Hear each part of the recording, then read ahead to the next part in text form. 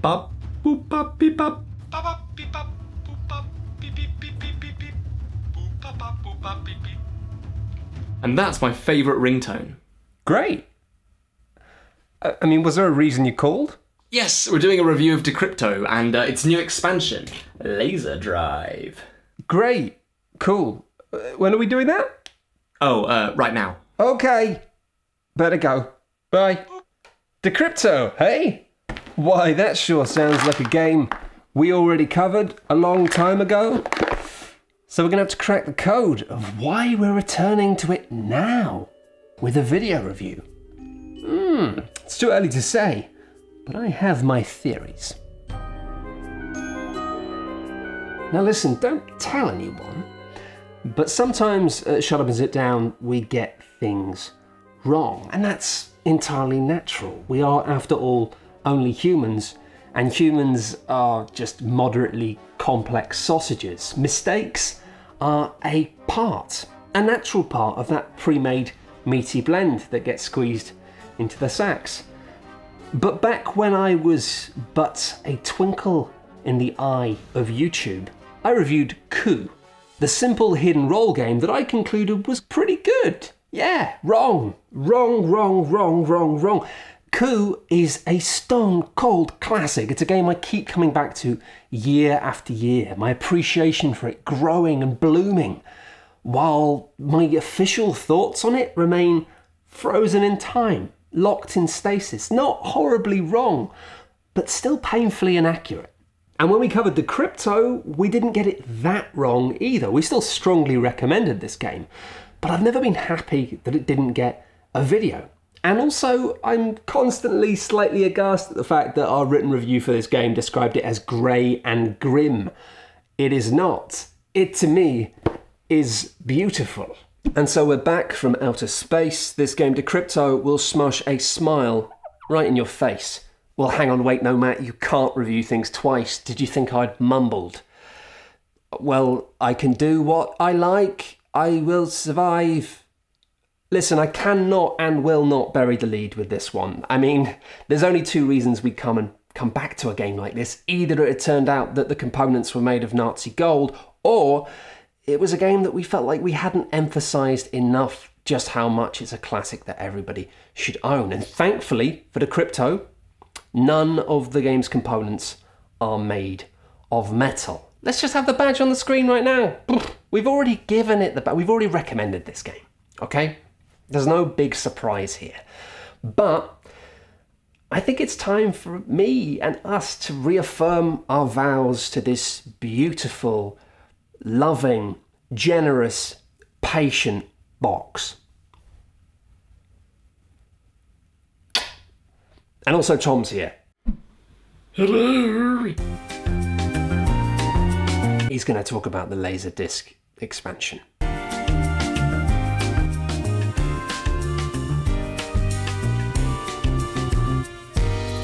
So, how does it work?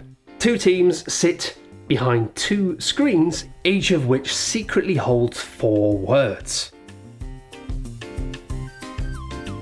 Sliding these double sided cards behind the red plastic screens that then reveal themselves with words, as if using actual magic.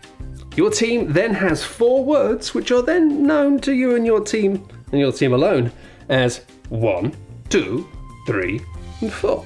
And each round, one person from each team will take one card from their pleasingly square deck of floppy disk code cards and be given a three number combination. For example, four, two, three. It's then the job of that code maker to try and come up with three specific clues that will then get their team to correctly guess in the correct order. Still got a wobbly table. Lockdown pandemic, keeping it real.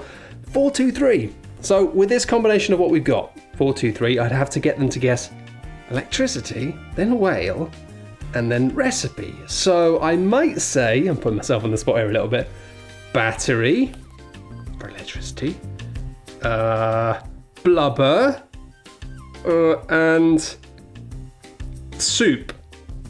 But quite honestly, those clues are terrible.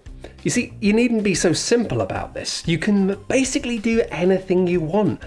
as a clue. You could say a sentence, you could say a single word, you could do a little dance, you could make a little noise, you could get down tonight. And the rules about what you can't do are very self explanatory. You can't give clues that make reference to the positions of these cards, you can't give clues that are to do with what the words sound like, it has to be to do with the actual meanings of these words. And finally, and most importantly, any clue you give to your team has to be public information that anyone around the table could potentially know. So if you're playing with family and I to say to my brother, Karen, because we have an Aunt Karen who was a famous souffle chef, who was then sadly eaten by a whale. And so after I've provided my team with three fantastic clues, they'll confer with one another while I sit there quietly, at the end of which they will hopefully come back with the correct combination of four, two, three. Whew, safe. But, but, but, but, but, but, but, but and this is a huge but, honestly, it's untenable. Before my team guess, the other team get a chance to intercept, to try and guess the code before my team do. And if they manage it, then they get one of these special tokens. You get two of those at any point, then you win the game. But again, they're not going to be able to guess the combination of the code. And that's going to continue to be the case until you find yourself frantically trying to think of the fourth different Clue for whale. I mean, how hard can it be to whale? Oh, they're gonna know it's a whale. I've said, why did I say blubber? Oh, ta-da! That's Decrypto. It's a game of swaggering into a police interrogation thinking you're a criminal genius, and then finding that suddenly the detectives are all pointing at notes and chuckling to themselves and realizing you've made a huge mistake. It's absolutely glorious. And so, what's the answer? Well, the answer is obvious, right? You don't give simple clues, you give dastardly complicated clues. When they say whale, I'm going to think, uh, uh, uh.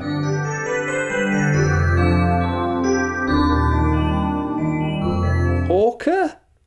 But obviously, if you give a clue that clever, you could be in trouble because if your team get it wrong with that perfect information, they don't get the combination right, you get a bad token.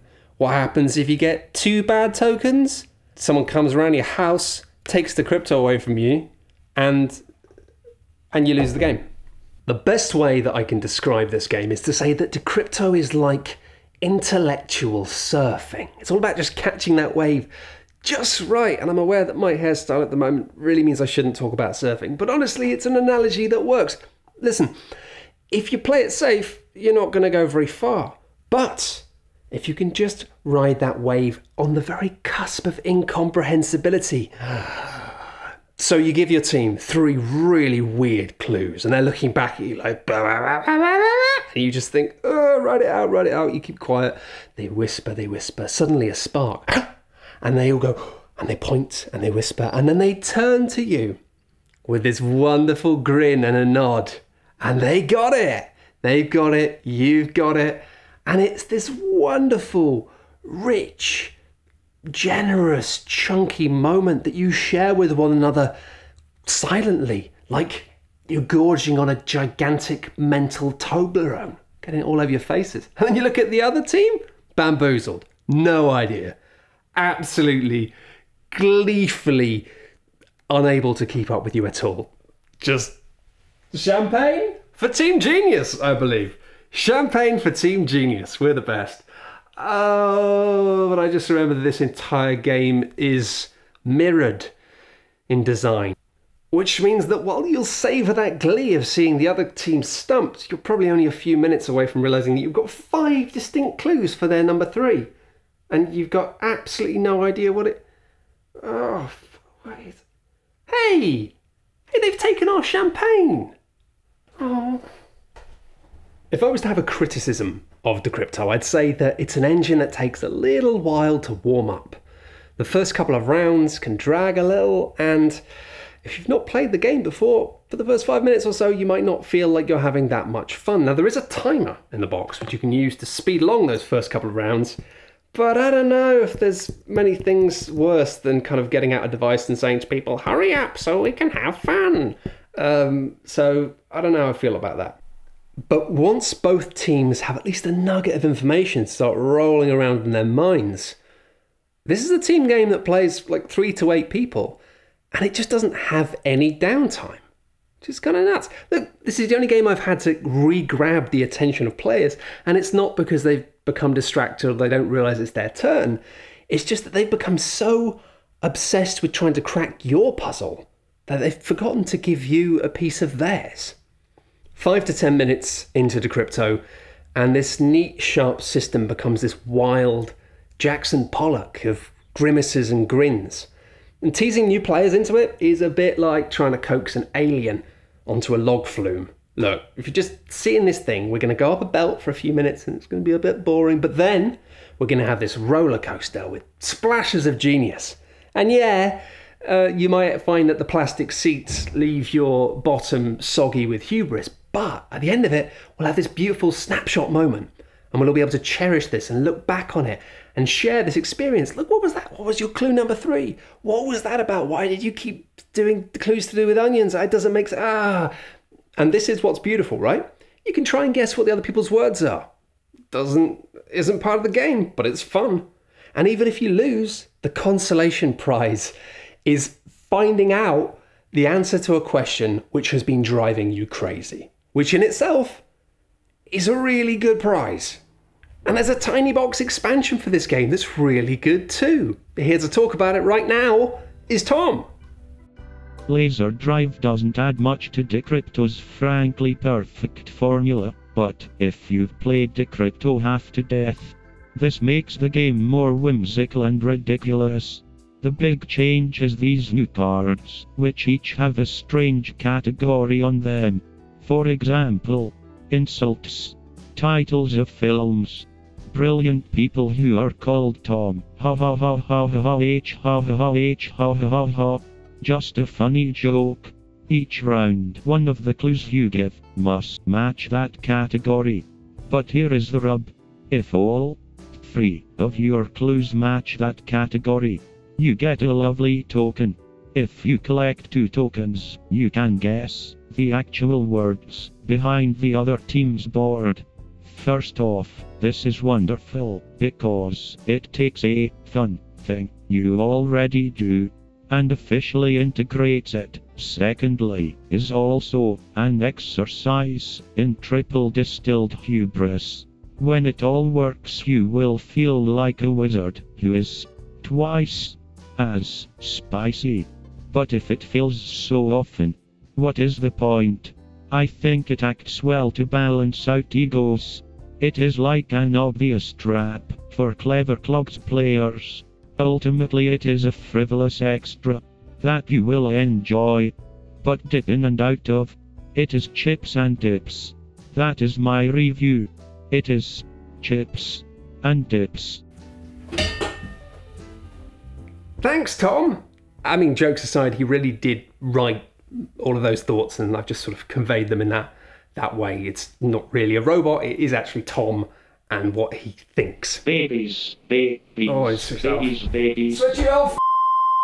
And so that's Decrypto, provided to us by Scorpion Masqué and designed by Thomas Dagonet L'Esperance. I hope Lespérance. Ah, anyway, a designer I think is really one to watch. They made a game called Anomaly that came out a few years ago. Four players, absolutely blinding. Three players, not nearly as blinding. Two players, pretty bad.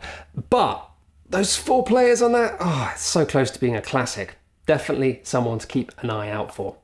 But this is a game that allows you to be delightfully clever, throws you under a bus when you've been too clever, and because of that, I would just say as a final note, maybe don't play this with people who you might get into fights with because it can be really frustrating if you're not connecting mentally with other people. But for the same reason, it's that synergy that leaves you feeling so beautifully smug. It's like butter to my crumpets. And the last thing I'll say about this game is yes, you can play it with a whole bunch of people around a table. But I think this is best when you play this just 2v2, maybe with couples, just you and your significant other and another couple. It's a really nice thing to enjoy just sitting back on some sofas or out in the park. And because there's no shared components and you're not passing things around, you can play it whilst pretty far away from other people. If for some reason there was some reason you had to be distanced physically from other people because of, I don't know, a global pandemic or something.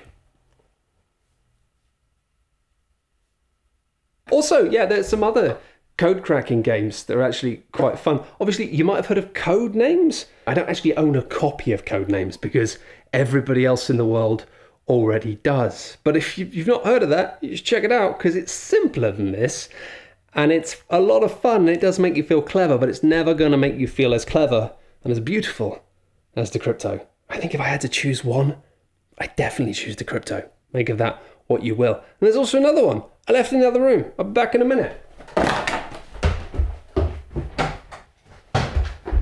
If you like your code breaking games to actually involve codes and uh, possibly breaking everyone's spirit, then Break the Code is quite fun. It's a bit like a cross between Guess Who and Sudoku, if that makes any sense.